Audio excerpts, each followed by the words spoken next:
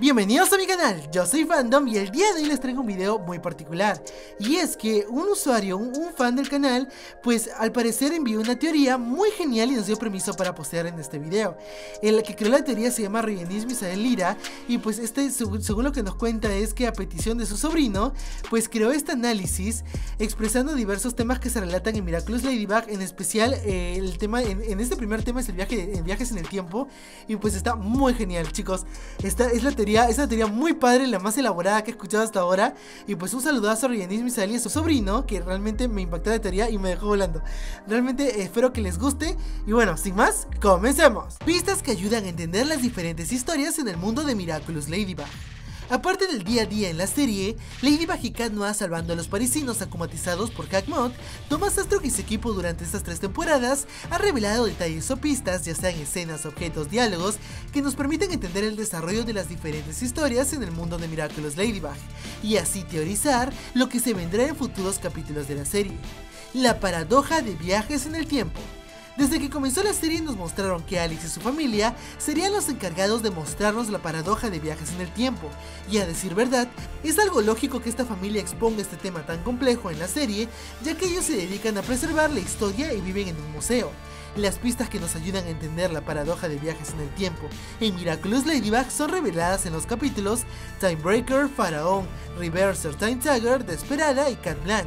Los primeros tres capítulos otorgaron pistas que anunciaban los hechos de Time Tiger, como el reloj que recibió Alex por parte de su padre indicando su intervención como Bonix, la escena donde Ali y Marinette están viendo la exhibición del antiguo Egipto donde se aprecian los pilares en donde quedó atrapada Bonix, y la escena donde hacen referencia al villano del capítulo, cuando Alex está en el salón de arte pintando un graffiti. Los últimos tres capítulos exponen en su totalidad la paradoja del viaje en el tiempo, de la manera en cómo ocurrieron los eventos de los capítulos que muestran viajes temporales. Muchos en el fandom no comprendieron el desarrollo de la paradoja temporal en la serie. Lo que sucede es que la paradoja del viaje en el tiempo en el mundo de Miraculous Ladybug es muy compleja, tan compleja que parece no tener sentido, pero en realidad está muy bien elaborada y ya que lo que da a entender los hechos de Time Tiger, Desperada, Timebreaker y Cat Blanc en ese orden, es que la línea de tiempo en la que han transcurrido estas tres temporadas está alterada, y a continuación voy a explicar el porqué de todo esto. La paradoja de viajes en el tiempo en Miraculous Ladybug está compuesta de la siguiente manera. Una sola línea de tiempo. Está basada en el concepto de la predestinación, bucles temporales, perturbaciones temporales y anomalías temporales y tiene como punto de partida la línea de tiempo original que es el pasado de Bonix, un pasado que es ligeramente diferente a lo vivido durante estas tres temporadas, cuando Chris es acumatizado en Time Tower en el presente de Bonix, 10 años en el futuro. Y pues este durante la batalla atrapa a Bonix en un bucle temporal.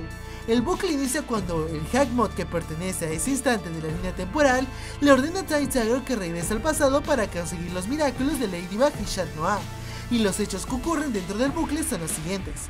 Time Tiger viaja al pasado, Bonix lo sigue, Ladybug le ayuda a Bonix a regresarlo al futuro e intentan derrotar a Time Tiger en el futuro. Time Tiger se vuelve a escapar al pasado. Completando el bucle, hay que tener en cuenta que todos los hechos que suceden dentro del bucle temporal no suelen ser repetitivos. Durante el ciclo pueden que las batallas con Time Tiger, tanto en el pasado como en el futuro, se desarrollen de una manera distinta, solo que tienen que cumplirse los hechos ya antes mencionados. Es por eso que Bonix recuerda verse en el pasado desde el puesto de lado, ya que ese es un hecho que se repite en el bucle. Algo parecido sucede en el capítulo de Desperada, cuando Aspis utiliza su poder de segunda oportunidad, crea un bucle que inicia cuando está con Ladybug en el desagüe de París, y se complementa cuando Ladybug es capturada por Desperada. Cada vez que el bucle se reinicia, Ladybug es capturada de manera diferente. Un bucle puede reiniciarse infinidades de veces. Este detalle nos lo muestran en el capítulo de Desperada, cuando Adrian le dice a Ladybug que ha visto Desperada capturar a Ladybug 24.913 veces. Pasa lo mismo con el bucle creado por Time Tiger. Lo demuestra un gesto que hace Time Tiger durante el capítulo.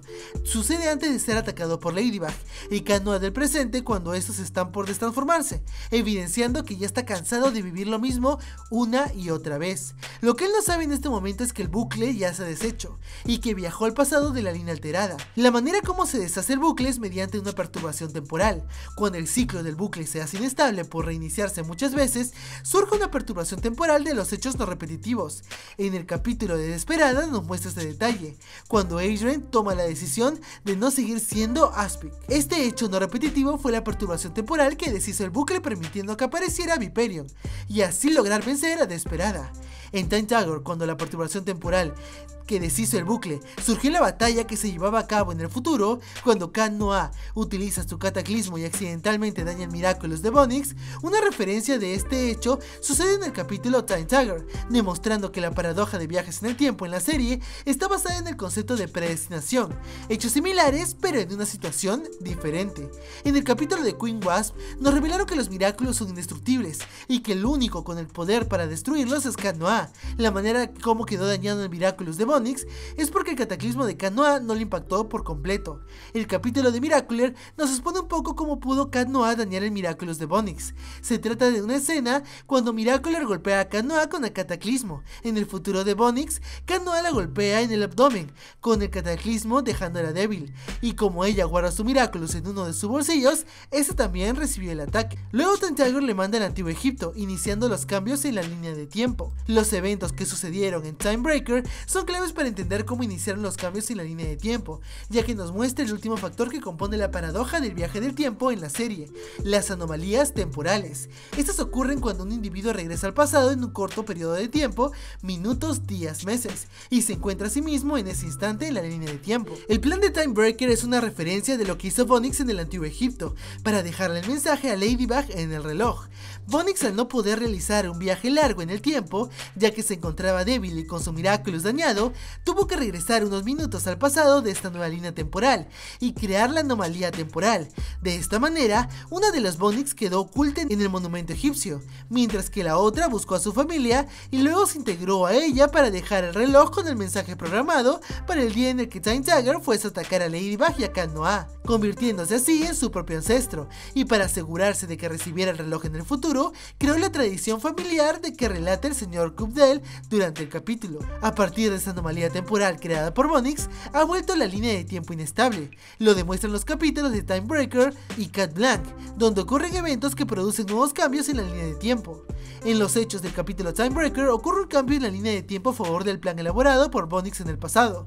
A pesar de dejar el mensaje en el Miraculous del conejo y dejarlo como una reliquia familiar, no le garantizaba enfrentar a Time Tiger ya que el Miraculous estaba dañado. Si no fuese porque Ladybug repara el Miraculous cuando derrotó a Breaker, Bonix no habría podido transformarse. En Day Tiger es muy diferente. Hay un par de eventos que produjeron un cambio negativo en el futuro, que crearon los hechos que suceden durante el capítulo de Cat Blanc. Al saber Gabriela Gress que en el futuro ha fracasado en su intento de recuperar a Emily, esta adopta una conducta más obsesiva y egoísta, haciéndose capaz de cometer cualquier locura con tal de reparar su error sin importarle que su hijo salga lastimado. De hecho, se explica muchas cosas en especial su cambio de actitud, ya que ella sabe de que si no cambia de actitud no va a lograr su objetivo.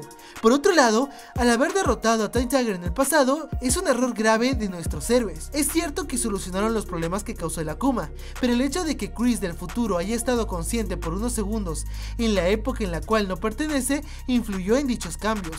En Cat Blanc hay un hecho similar que puede traer cambios en el futuro, y esto es que Ladybug recuerde la batalla con Cat Blanc en ese futuro apocalíptico.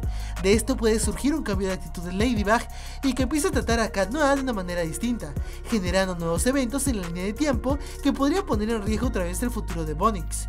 Todos estos cambios van modificando la línea de tiempo original de manera secuencial, se va reescribiendo lentamente desde el momento donde hubo un cambio. Es por eso que en Cat Blanc vemos a Bonix desaparecer poco a poco, debido a que se está reescribiendo la línea de tiempo entre el error de Marinette y la acumatización de Cat Blanc. Este periodo de tiempo entre ambos eventos es el tiempo límite que tiene Ladybug y Bonix para recuperar el futuro. Durante el capítulo este tiempo límite se reduce, ya que al parecer Bonix puede controlar el proceso de transición que sufre la línea de tiempo. Se puede apreciar cuando Bonix está buscando qué evento causó el futuro apocalíptico. Mientras ella avanza en la línea de tiempo, más acelera la destrucción de la misma. Otra pista que nos deja el capítulo Shot Blank es que Bonix es el último granito de tiempo perteneciente a la línea de tiempo original. A pesar de que este se está reescribiendo, la línea de tiempo de Bonix sigue recordando todo lo que vivió en la línea de tiempo original. Este detalle es revelado durante la escena en donde Ladybug le pregunta si ha visto cuáles son o serán sus regalos de cumpleaños, y Bonix le responde mirando el momento cuando su padre le entregó el reloj. También en la escena cuando no recuerda el momento en donde le devolvió el juguete a Rose. Esto nos indica que la transición que está sufriendo la línea de tiempo no afecta la memoria de Bonix y respalda lo antes explicado sobre el recuerdo de Ladybug del futuro apocalíptico. Ese es el motivo por el que Bonix en la línea de tiempo original sigue existiendo, es porque ella garantizó que Alex de esta nueva línea de tiempo recibirá el Miraculous del conejo, y eso se debe a su encuentro con Ladybug en Time Tower. Esta Bonix va a desaparecer cuando este evento se cumpla, y nacerá una nueva Bonix actualizada con los hechos de la nueva línea de tiempo, y al mismo tiempo finalizará el proceso de transición, o sea la línea de tiempo dejará de reescribirse. La forma en cómo se reescribe la línea de tiempo en la serie es bajo el concepto de la paradoja de predestinación, los hechos de la línea de tiempo original se van reescribiendo de manera aleatoria en la nueva línea de tiempo. Es como cuando tienes una playlist ordenada en orden alfabético y la haces reproducir en modo aleatorio.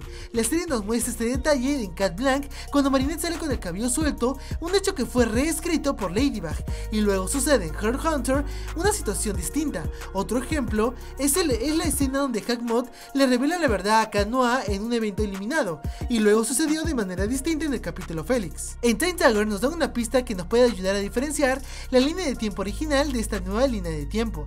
Se trata de la respuesta que le da Bonix a la pregunta formulada por Cat Noir.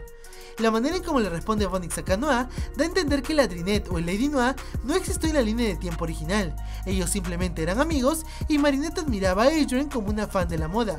Por esta razón, el recuerdo que tiene Bonix de la apuesta con Rose es diferente. El hecho de que estén enamorados de manera confusa en la nueva línea de tiempo es lo que la diferencia de la línea de tiempo original, ya que esto ha provocado la mayoría de los cambios que ha sufrido la línea de tiempo, específicamente las decisiones que ha tomado Marinette o Ladybug dejándose llevar por sus sentimientos. Ahora basándonos en todo lo explicado, podemos recrear cómo sucedieron algunos eventos en la línea de tiempo original. Número 1. El Adrigami y el Lucanet sí existen, ambas relaciones surgieron ya estando adultos. Número 2. El Maestro Fu sigue siendo el guardián de la Caja de los Miraculos en el presente de Bonix. Número 3. Nunca apareció en el Tíbet el Templo de la Orden de los Guardianes. Número 4. Saint Tiger puede que sea el primer villano creado por el nuevo Hackmod. Número 5. Bonix recibió el Miraculous del Conejo ya estando adulta, y es por esta razón que le cuesta entender cómo funcionan sus poderes. Y aquí finaliza este análisis de la paradoja de viajes en el tiempo del mundo de Miraculous Ladybug. Espero que este material ayude a aclarar las dudas sobre el tema, y pronto les estaré enviando la parte 2 que trata del tema de la historia de los Miraculous y el origen de los guardianes. Bueno chicos, ya lo escucharon, ¿qué les pareció esta teoría que estaba muy compleja y muy larga?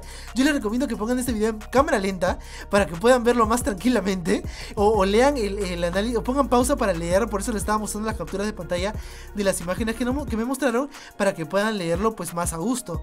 Eh, porque realmente la, teoría está, está complejísima, pero si lo leemos lentamente se entiende todo y todo, muchas cosas que no tenían sentido antes cuadran. Entonces chicos, dejen en los comentarios qué les pareció. Yo soy Fandom y una especial otra vez más pues a la persona que envió este video que estuvo muy genial y pues quería mandarle un agradecimiento especial por haber enviado su teoría. Muchas gracias chicos por haber visto este video y nos vemos en la siguiente. Bye Miraculous, cuídense